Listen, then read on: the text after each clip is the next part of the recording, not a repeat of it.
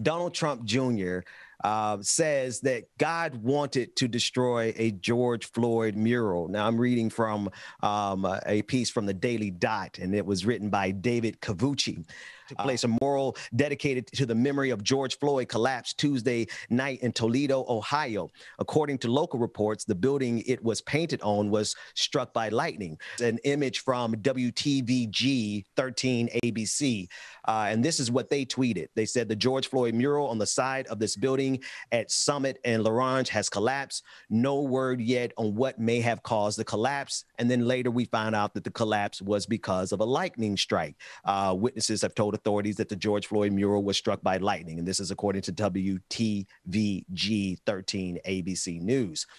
Donald Trump Jr., being the well, I'll leave all the descriptors uh, for later.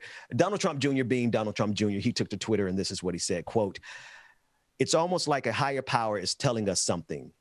When was the last time you heard of a brick building being destroyed by lightning? I am a builder and I'm not sure I've ever heard of it. I have nothing to say about this because it's like to me a natural occurrence like this would happen, and of course the uh, right wingers would make this such a thing, and I, you know, we would too. When we would we would cackle about it, we would say, "Oh, it was the hand of God that struck down that racist mural over there on Stone Mountain," some crap like that, right? We would do the same thing. But here's the issue, though. This is what we we've seen the the the the Republicans or conservatives or white right wingers um, or alt righters or KKK members, white nationalists, that whole list. Um, mm-hmm. This is what we've seen them to do: take God, right, and um, really actually mean it when they say these kind of things. This was God that did this. But how does that equate? He he struck it down because what? This mural, this mural reminded you that white cops a system that is against black people. It's always shooting down black men, murdering black men every day. Something that reminded you that. You think God didn't want, would take that away to benefit y'all?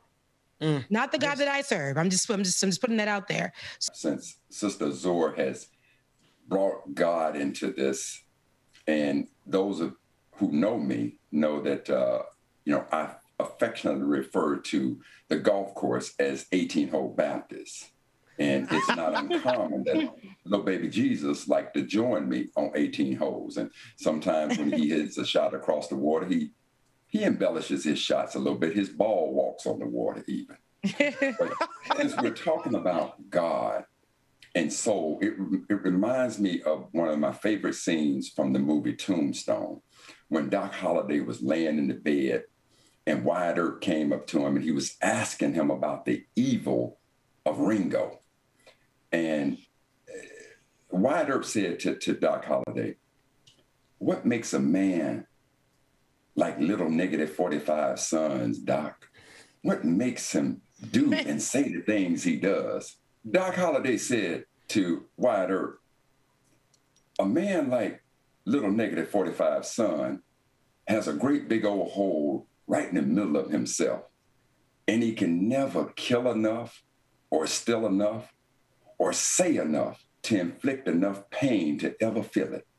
See, little negative 45 son to invoke the spirit of little baby Jesus that I play with at 18 Hole Baptist, to inflict that, you know, to, to attribute that to God, he has a, a hole right in the middle of his soul, and he could never, ever fill it up. That's what makes them so evil.